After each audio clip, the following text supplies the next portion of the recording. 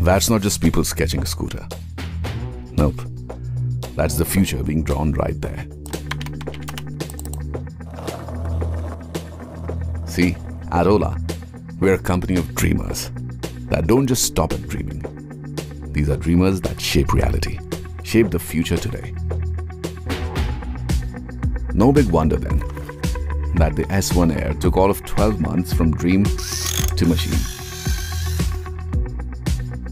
Those right there are top engineers.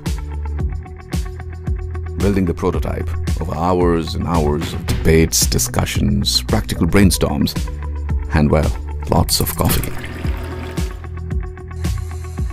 Of course, we had a little help from our green friends. Just look at them go.